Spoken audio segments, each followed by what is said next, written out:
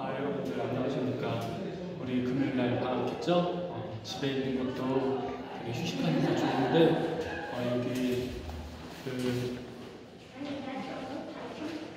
어, 문화예술회관 우리 이마트 맞은편 그 문화예술회관에서 어, 무료로 이렇게 전시 관람을 할 수 있습니다. 28일까지 해요. 어, 7월 28일 아침 오전 10시부터 그 다음에 오후 5시까지 10시부터 오후 5시 28일 가자니까 여기 그 교과서에 나오는 이제 그다음에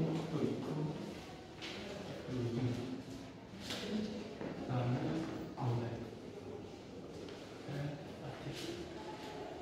있으니까 유명한 작품이 있어요. 잠깐만 한번 보러 가겠습니다. 슝. 자, 이거는 이중섭 작가님의 이제 황숙. 이게 원작은 아니고 예, 원작을 이렇게 똑같이 그린 겁니다. 되게 신기하죠? 그 다음에 여기 고흐.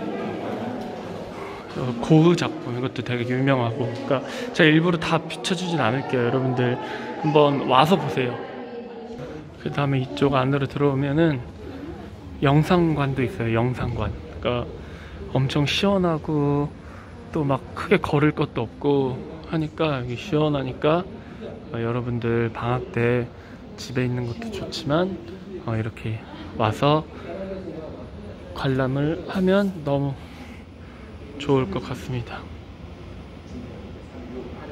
자, 그러면 마치겠습니다.